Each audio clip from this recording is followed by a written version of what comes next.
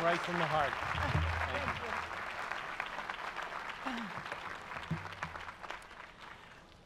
Good afternoon. My remarks at this moment in our commencement rituals are officially titled A Report to the Alumni. The first time I delivered them in 2008, I was the only obstacle between all of you and J.K. Rowling. I looked out on a sea of eager children, costume Dumbledores, and Quidditch brooms waving impatiently in the air. Today, you await Mark Zuckerberg, whose wizardry takes a different form, one that has changed the world. And although he doesn't seem to have inspired an outbreak of hoodies, we certainly do have some costumes in this audience today. I see we're now handing out blankets. this is a day of joy and celebration, of happy endings and new beginnings, of families and friends, of achievements and hopes. It is also a day when we as a university perform our most important annual ritual, affirming once again the purposes that animate us and the values that direct and inspire us. I want to speak today about one of the most important and in recent months most contested of these values. It is one that has provoked debate, dissent, confrontation, and even violence on campuses across the country, and one that has attracted widespread public attention and criticism. I am, of course, talking about issues of free speech on university campuses. The meaning and limits of free speech are questions deeply embedded in our legal system. in interpretations of the First Amendment and its applications. I am no constitutional lawyer, indeed, no lawyer at all. And I do not intend in my brief remarks today to address complex legal doctrines. Nor clearly can I, in a few brief minutes, take on even a fraction of the arguments that have been advanced on this issue. Instead, I speak as one who has been a university president for a decade in order to raise three questions. First, why is free speech so important to and at universities? Second, why does it seem under special challenge right now? And third, how might we better address these challenges by moving beyond just defensively protecting free speech, which of course we must do, to actively and affirmatively enabling it and nurturing environments in which it can thrive. So, first, why is free speech so important to and at universities? This is a question I took up with the newly arrived first year students in the college when I welcomed them at convocation last fall. For centuries, I told them universities have been environments in which knowledge has been discovered, collected, studied, debated, expanded, changed, and advanced through the power of rational argument and exchange. We pursue truth unrelentingly, but we must never be so complacent as to believe we have unerringly attained it. Veritas is inspiration and aspiration. We assume there is always more to know and discover, so we open ourselves to challenge and change. We must always be ready to be wrong. So, being part of a university community requires courage and humility.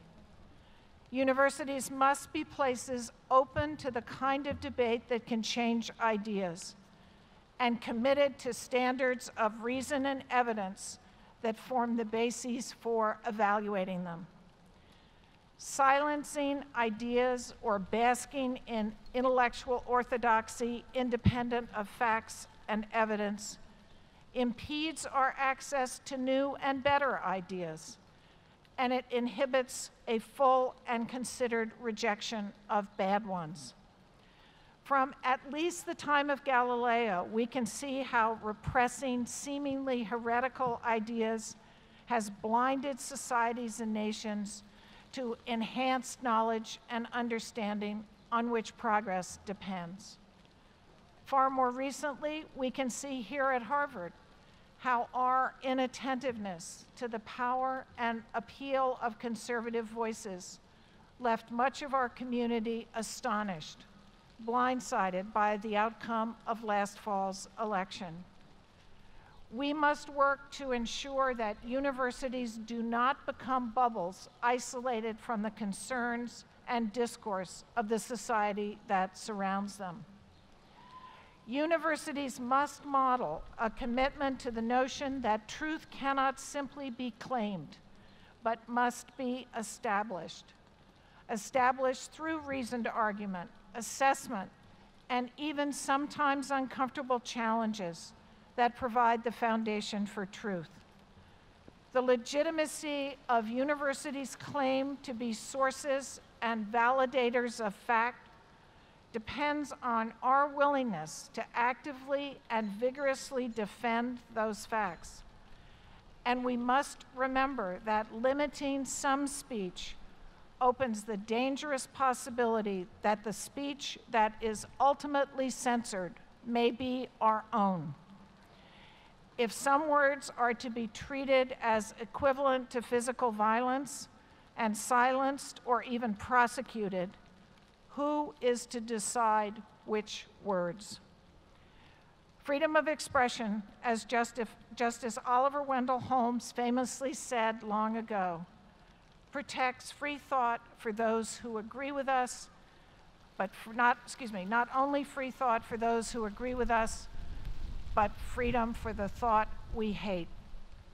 We need to hear those hateful ideas so our society is fully equipped to oppose and defeat them. Over the years, differences about the implementation of the university's free speech principles have often provoked controversy, and we haven't always gotten it right. As long ago as 1939, an invitation from a student group to the head of the American Communist Party generated protest, and the invitation was ultimately canceled by the corporation. Bertrand Russell's appointment as William James lecturer just a year later divided the corporation, but President Conant broke the tie and Russell came. Campus conflicts over invited speakers are hardly new. Yet the vehemence with which these issues have been debated in recent months not just on campuses, but in the broader public sphere, suggests there is something distinctive about this moment. Certainly, these controversies reflect a highly polarized political and social environment, perhaps the most divisive since the era of the Civil War. And in these already fractious circumstances, free speech debates have provided a fertile substrate into which anger and disagreement could be planted to nourish partisan outrage and generate media clickbait. But that is only a partial explanation. Universities themselves have changed dramatically in recent years, reaching beyond their traditional, largely homogeneous populations to become more diverse than perhaps any other institution in which Americans find themselves living together.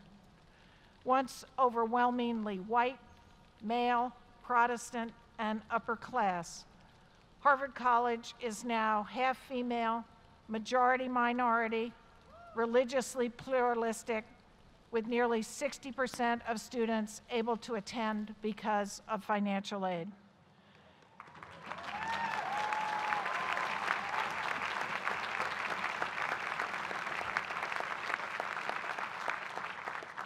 15% are the first in their families to go to college.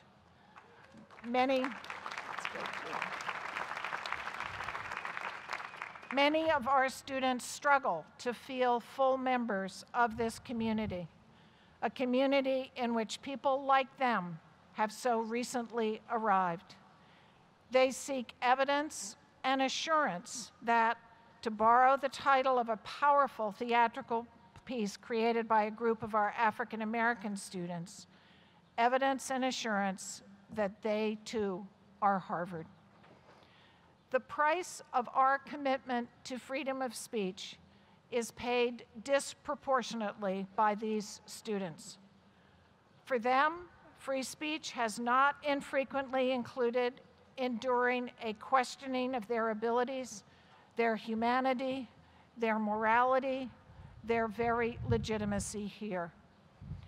Our values and our theory of education rest on the assumption that members of our community will take the risk of speaking and will actively compete in our wild rumpus of argument and ideas. It requires them as well to be fearless in face of argument or challenge or even verbal insult. And it expects that fearlessness even when the challenge is directed to the very identity race, religion, gender, ethnicity, sexual orientation, nationality, that may have made them uncertain about their right to be here in the first place. Demonstrating such fearlessness is hard. No one should be mocked as a snowflake for finding it so. Hard.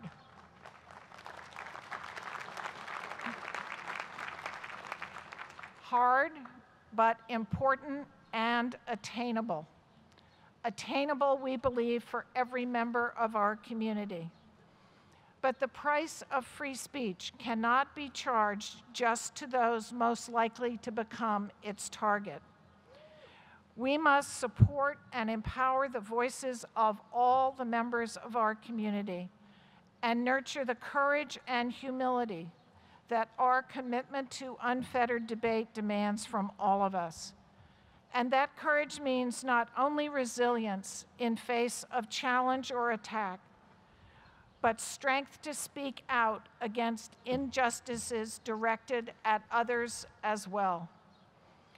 Free speech does not just happen and require intervention when it is impeded.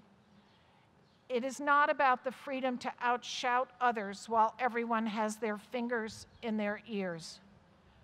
For free speech to flourish, we must build an environment where everyone takes responsibility for the right not just to speak, but to hear and be heard, where everyone assumes the responsibility to treat others with dignity and respect. It requires not just speakers, but in the words of James Ryan, Dean of our Graduate School of Education, generous listeners. Amidst the current soul searching about free speech, we need to devote more attention to establishing the conditions in which everyone's speech is encouraged and taken seriously. Ensuring freedom of speech is not just about allowing speech. It is about actively creating a community where everyone can contribute and flourish, a community where argument is relished, not feared. Freedom of speech is not just freedom from censorship, it is freedom to actively join the debate as a full participant. It is about creating a context in which genuine debate can happen. Talk a lot, I urged the class of 2020 last fall. Listen more.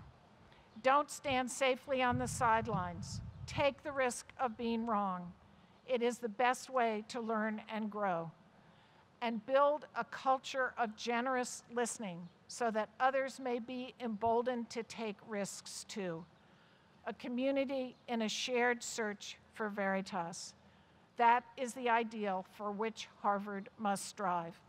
We need it now more than ever. Thank you.